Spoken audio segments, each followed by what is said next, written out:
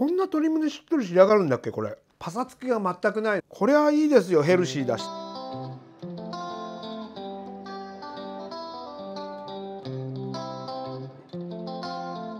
俺のつまみということで、えー、このコーナーは、えー、お酒大好きアラフォーの料理系料理研究家私木島隆太が、えー、俺らにとって理想のおつまみを探す、えー、旅でございます。つるぷり鶏胸のくずたたきということで、えー、鶏胸に片栗粉をまぶしてプルンと仕上げるえー、まあ、お刺身みたいな食べ方をする料理ですくずたたきってちょっと言葉で聞くとかなり怖い感じになりますけどもともとはくずを使ったんだけど今日は片栗粉でやっちゃおうという感じです、えー、とにかくポイントここ鶏胸肉の切り方と片栗粉の使い方。これが今日のポイントになります、えー、ぜひお酒を片手に一緒に作ってみましょう。では作っていきましょう。今日もねメインの食材この鶏胸肉ね、えー、それと今日薬味にこのきゅうりとみょうがを使います。まずは薬味作りからやっていきましょう。えー、っとねまずきゅうりね。今日はきゅうりをなんとすりおろします。おろしきゅうり通大根おろしとかねやるでしょ？それをねきゅうりでやってこのね青臭いちょっと青臭いって言い方は悪いけどちょっと青みがかった香りってお酒のつまみにいいじゃないですか。なのでこの今日はね大根おろしならぬ、えー、おろしきゅうりを薬味にしたいと思います。でもさ青臭いって嫌だって言ったけどさなんか大人になってくるとこの青臭さちょっと匂いの強い食材とか好きになってこない？特にお酒飲む時とかあーすげえ飛んでる。ひたすら、えー、吹きながらね。はい。もう料理家も15年ぐらいやってるとこの吹きながらすりおろしもできるようになっちゃうね。ざるで、えー、水分をこしたいと思います。ではこの今おろしたきゅうりをざるにこします。まあ、ざるなかったら手で絞ってもいいんだけどざる出すのめんどくさかったらねみょうがを切っていきます。まずは縦半分に切る。スッと切る。そうしたら、えー、斜めに薄切りにしていきます。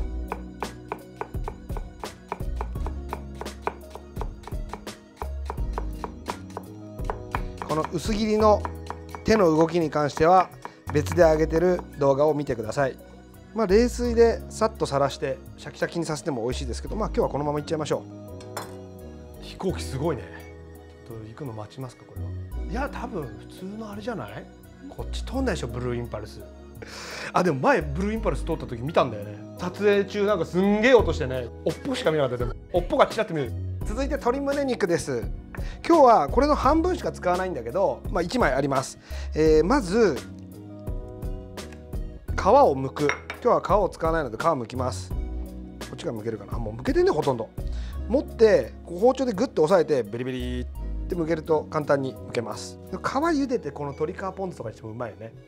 まあ、今日はやんないけど。繊維の向きがこの辺はこうビヤーって入っててこっからこっちはこう入っててこっからこっちはこう入ってんですよ。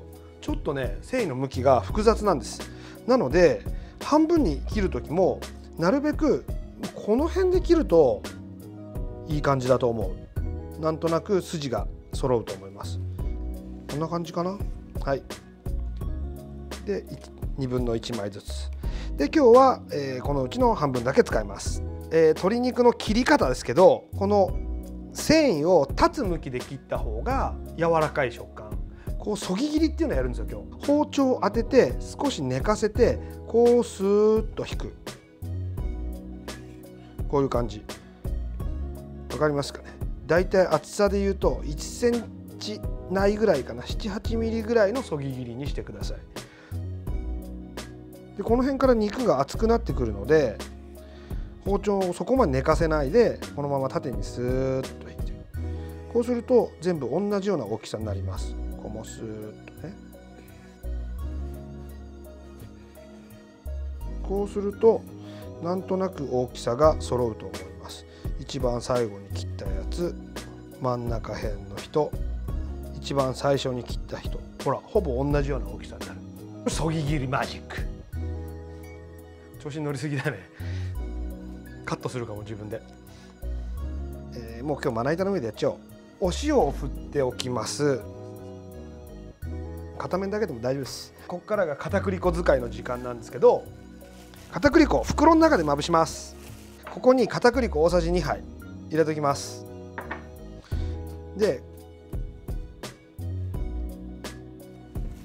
こうちょっとザザッとこういうふうに取り入れるザザ。取り入れるザザザ。この歯切れちゃんたちはちょっとこのまま置いとこう。後で後で1個にまとめてあげるのでこんな感じで。たっぷり片栗粉がついてます。これで余分な粉をはたいて茹でていくんだけどお鍋の方見てみましょう、えー、煮立ってます。そしたらこの鶏肉の粉をある程度落としてください。これつきすぎてると鍋の中がドロドロになってなかなか火が通らないのでもう余分な粉を落としてでこの中に入れていく。いきます。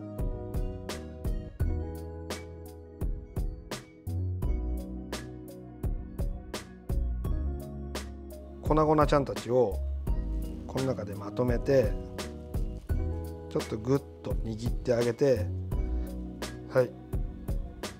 3人を1人にまとめました。でこれも入れちゃう。ほっとくと片栗粉が鍋の底にくっつくので時々こういうふうにちょっとねちょっとだけプカーンと浮かせてあげてください。こういう感じで、ね、優しくね。優しくね。特にこの三つ子ちゃんはかなり優しくあいいね。OK でこのまま茹でていきましょう。いい感じいい感じ。さあでは3分今3分半ぐらいかね。4分弱ぐらいで、えー、取り出していきます。で取り出したらすぐねこう冷水に取りたいんです。ひんやり食べたいので。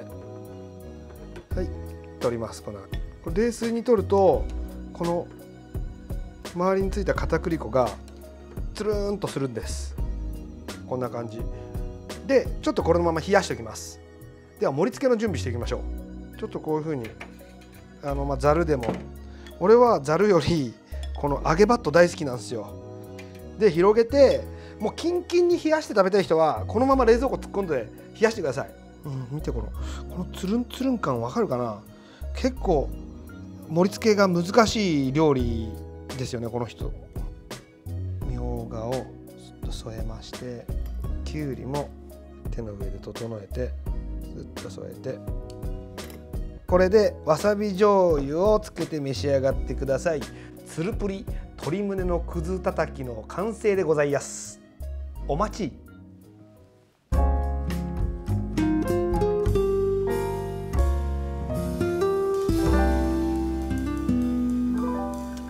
皆さんお疲れ様でした。あ薬味と醤油で飲めるもんね。さあこんな感じでちょっとお醤油つけてわさび醤油をつけていただきます。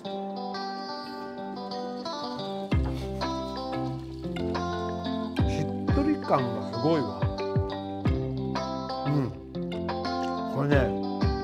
よくうちのばあさんが作っててね僕もたまに作るんだけど久しぶりにこれ今日作ったんだけどこんな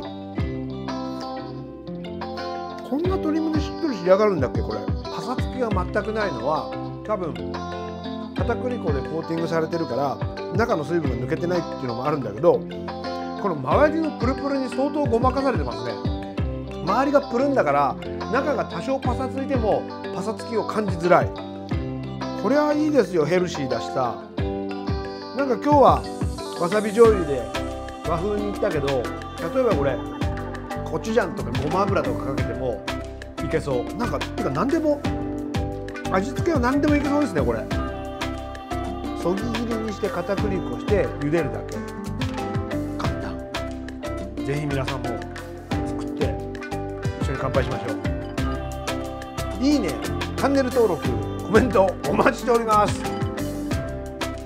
よろしく。